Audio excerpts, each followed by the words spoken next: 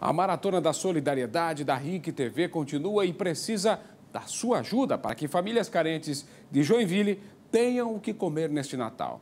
Agora a repórter Danilando vai mostrar para a gente mais um ponto de coleta.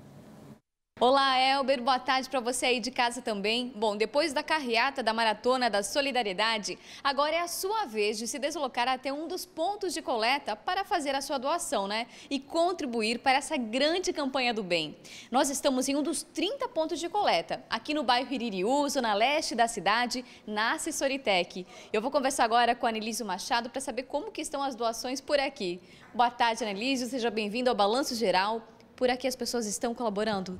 Boa tarde, Dani, Elber e todos que acompanham né, pela RIC Record esse belo trabalho, essa bela campanha. Eu já perdi a conta de quantos projetos a gente participou junto, porque é um projeto que é, traz né, a vontade do ser humano de se doar, de ajudar ao próximo. Esse projeto, antes de tudo, né, é despertar nas pessoas a vontade de servir e de ajudar ao próximo. A campanha, eu confesso, precisa um pouquinho mais o pessoal colaborar. Olha a chamada, hein? Olha a chamada. Eu gostaria que multiplicasse por umas 10 vezes né, a quantidade de produtos que estão sendo doados. Mas fica aí o convite, pessoal, a Assessoritec, tanto aqui do Iririu, como lá do Itaú, do lado do terminal do Itaú também tem uma unidade Assessoritec. Passe e deixe, deixe. Olha, é arroz, é feijão, é alimentos não perecíveis, né? Que muita gente precisa desses alimentos para que possa fazer aquela ceia de Natal, aquele, aquela condição melhor, pelo menos na virada de ano. Com certeza, com certeza, as pessoas que recebem isso são pessoas que precisam muito.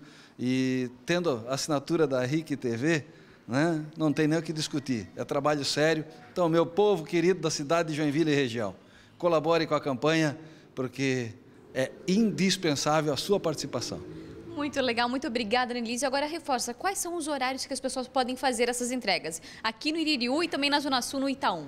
Olha, das 8 da manhã a unidade está aberta até as 22 horas, direto aberto as duas unidades, tanto do Iririú em frente ao terminal do Iririú como também ao lado do terminal do Itaú. Então, as duas unidades Assessoritec abertas das 8 da manhã até as 22 horas e no sábado das 8 ao meio-dia. Então, condição de sobra. E se tiver fora da Assessoritec, encontre um outro ponto também de coleta e colabore com as pessoas mais necessitadas. Dê um pouquinho daquilo né, que está sobrando, às vezes você pode.